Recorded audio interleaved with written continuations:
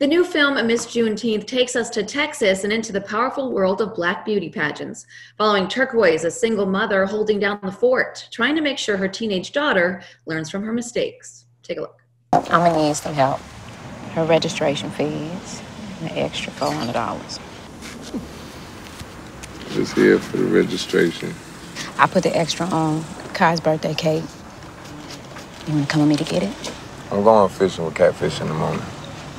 I'm gonna take her somewhere special on that day.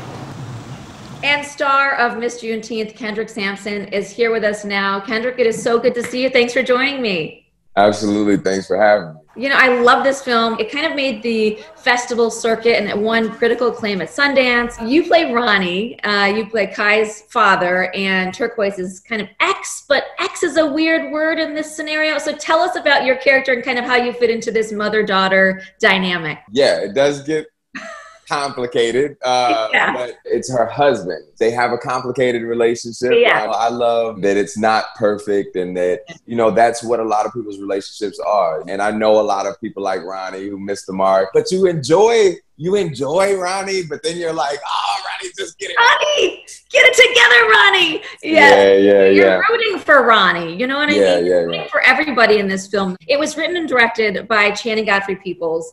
I can't believe it was her first film. Um, but she grew up in Texas. She kind of had her own experience with this Miss Juneteenth pageant.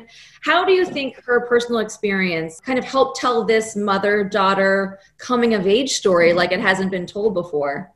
Well, she grew up in Fort Worth, if I remember correctly, and there's a big Juneteenth pageant culture there. So I grew up in Houston, H Town, uh, and outside of Houston as well, in Mo City, and not too far from Galveston, where the last slaves were told that they were free three Yeah. years after the Emancipation Proclamation, which is a travesty, but it's also like you Yeah. know my favorite holiday because we know that there was a whole fight of abolitionists and, and black liberators that that fought so hard our ancestors and we want to celebrate them and and and that they didn't settle with just a lot of us being free they made sure every single person was free you know it's a day of healing it's a day of like celebrating joy mourning being in community and healing together That is a lot of emotion. That is a lot Yeah. of emotion all right Yeah. there. wrapped. And what do you think, like filming on location where this holiday began and just kind I of mean- the energy on set?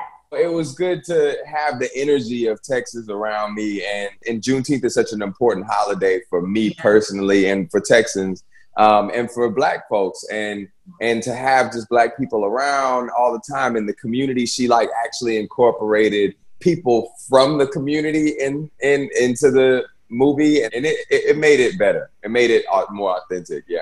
Yeah. You know, with all that's happening right now, how do you think a film like Miss Juneteenth and a story like Turquoise's kind of helps represent a broader look to the future? because I think black people are enraged and and and in America and uh, saying that we're not going back and this is not happening anymore and people are taking up uh, the the fight of uh, you know in the vein of those ancestors that were abolitionists that fought for um, a day like Juneteenth to come where everybody has dropped the shackles we're we're we're we're picking up that fight I feel like in the same way that Juneteenth is a story of delayed liberation, of the continued fight until everybody's free.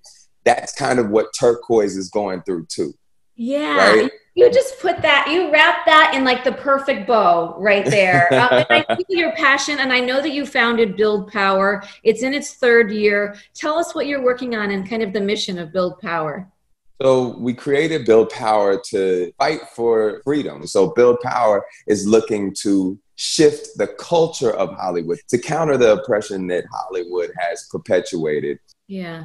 Well, there's also there's a lot of resources on the website too, including a lot for mental health issues. How important is it to take care of ourselves mentally during this time?